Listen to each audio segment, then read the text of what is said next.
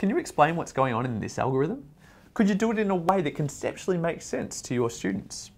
Well, if you're not quite sure, hang around till after the intro and I'll show you how I teach my students two-digit multiplication.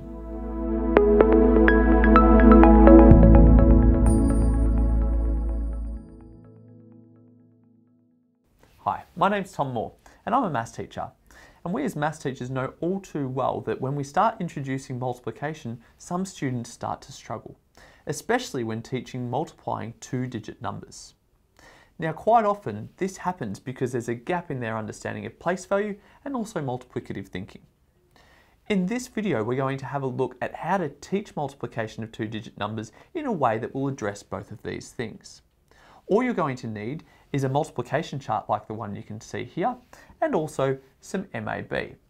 To find a copy of the multiplication chart, look in the description. You will also find in the description there is a great lesson plan which will go through how to do this as well, but relating it back to the rounding lesson that you would have seen in last week's video. So let's have a look at how to multiply two-digit numbers using the multiplication chart. Let's have a look at 4 times 13. So as you can see here, I have my 4 and my 13, that is 10 and 3 ones. And of course, I've represented it using the beginning of the algorithm that you can see here. Now using the model, what we're going to do is have a look at, well, what goes here? So therefore it's going to be whatever's this height and this width. So you can see that that's going to be a 10. Whatever's this height and this width. So you can see it's going to be a 1. And we continue to go through and do that until we've thought about all of these outside pieces. So there you have it. You can see 4 times 13. My questions on the outside of the multiplication chart and my answers on the inside. The 4 times the 110 is 4 tens and the 4 times the 3 ones is going to be 12 ones. Now of course we need to make sure that we simply go through and change over 10 of the ones for 110. So of course 4 times 13 will give us 52, that is 5 tens and 2 ones. Let's relate that back to the algorithm. If I have 13 times 4, we know the algorithm says 4 times 3 ones is 12 ones, and then 4 ones times 110 is going to be 40, or 4 tens.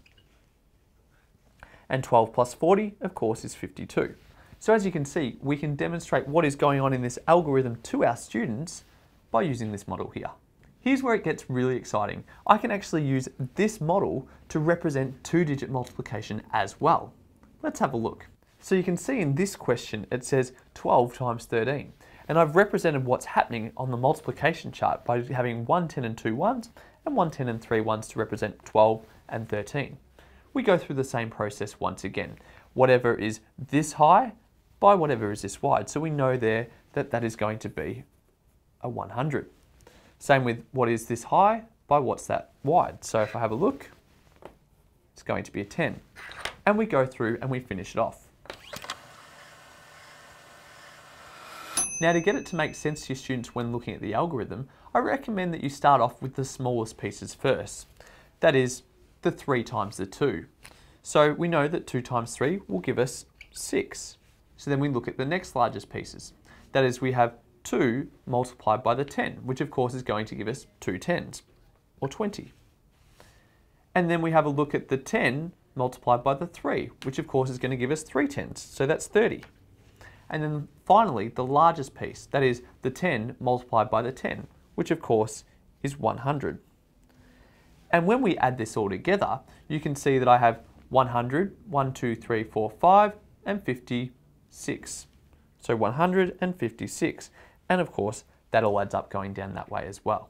Now, when first introducing the concept of multiplying two-digit numbers to students, I strongly recommend that you use just the model to do this. And don't worry about the formal algorithm stuff that you can see down here.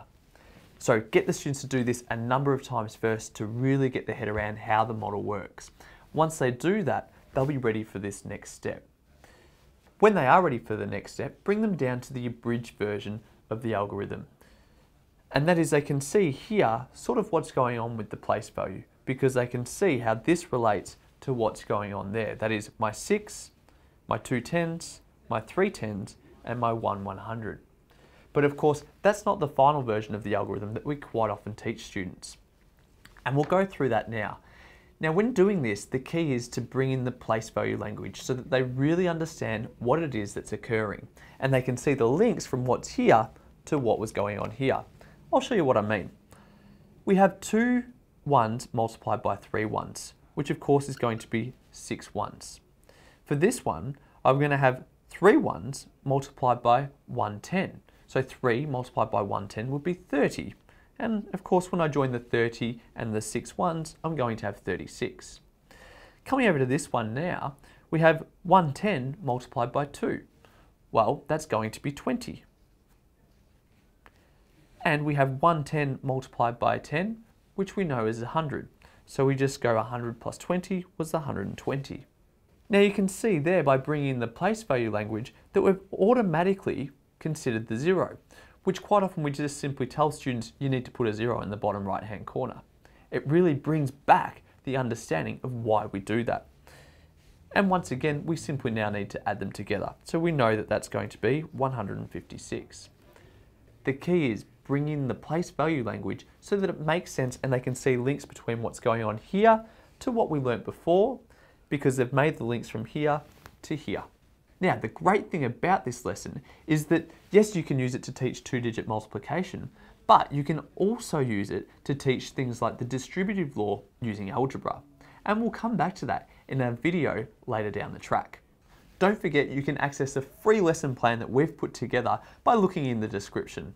It links the multiplication using arrays with rounding which we explored in a previous video.